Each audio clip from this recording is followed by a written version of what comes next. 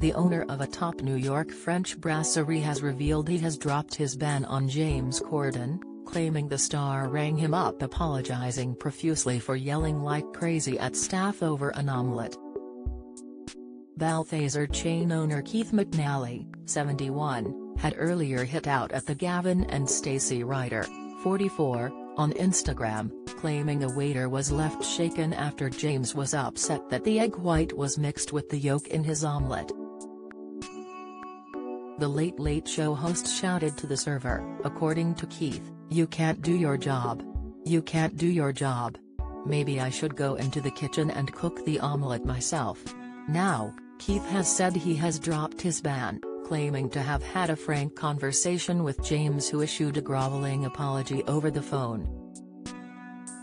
Taking to Instagram, he wrote, James Corden just called me and apologized profusely. Having FD up myself more than most people, I strongly believe in second chances. So if James Corden lets me host his Late Late Show for nine months, he'll immediately rescind his ban from Balthazar. No, of course not. But anyone magnanimous enough to apologize to a deadbeat layabout like me, and my staff, doesn't deserve to be banned from anyway. Especially Balthazar. So come back to the five and dime, Jimmy Corden, Jimmy Corden. All is forgiven. 20 Keith's followers soon took to their comment section, giving their take on the situation. Nice ending to an unpleasant story and impressive James Corden called to apologize. Another typed, he should go in there and apologize to the staff and give them a huge tip. A third chimed, hope he comes back and tips the waitstaff a ton of money. The restaurateur, who opened the Soho branch in 1997, had earlier called James a gifted comedian but a cretin of a man in a furious Instagram post. Keith, who owns restaurants around the world, including London, shared two separate reports from managers of his Balthazar eateries, where one claimed he was extremely nasty to one waiter and demanded a round of drinks after finding hair in his food.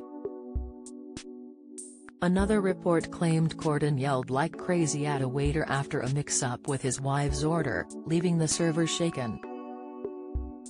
In the lengthy Instagram post, Keith wrote, James Corden is a hugely gifted comedian, but a tiny cretin of a man. And the most abusive customer to my Balthazar servers since the restaurant opened 25 years ago. Keith added he 86D the Late Late Show host, which is slang for throwing someone out or refusing to serve a customer. He explained, I don't often 86 a customer, to today I 86D Corden. It did not make me laugh. Here are two examples of the funny man's treatment of my staff. He behaved similarly in my former restaurant, Café Luxembourg, a few years back. Sick, the restaurant owner then shared two alleged reports filed by managers working at his eateries, recalling interactions with James. The first read, in June, James Corden was here on table 61. Although this is diabolical, it happens very occasionally in all restaurants. After eating his main course, Corden showed the hair to Balthazar manager G. Who was very apologetic. Corden was extremely nasty to G, and said, get us another round of drinks this second and also take care of all of our drinks so far. This way I write any nasty reviews in Yelp or anything like that. The second read, James Corden was at Balthazar with his wife on October 9 for brunch. He asked for a table outside. Brunchmater D. Ali Walters took the party to table 301.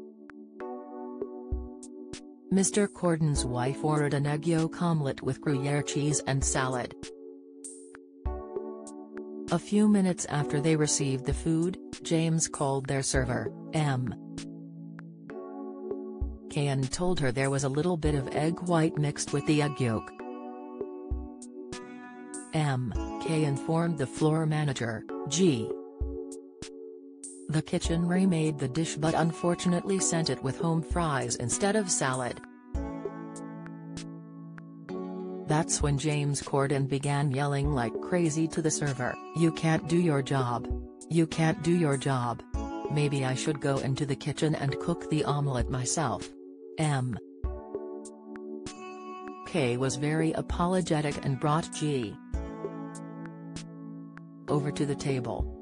He returned the dish, and after that, everything was fine. He gave them promo champagne glasses to smooth things out. G said that Corden was pleasant to him but nasty to the server. MK was very shaken, but professional that she is, continued to finish her shift. A representative for James Corden has been contacted for comment.